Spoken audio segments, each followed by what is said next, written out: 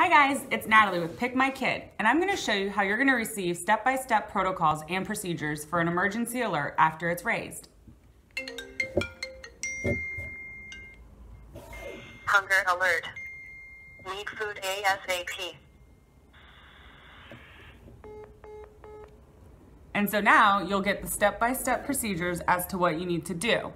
Get in your car, drive to Taco Bell, order a 12 pack with extra hot sauce, restrain from eating tacos on the drive back, and feed me.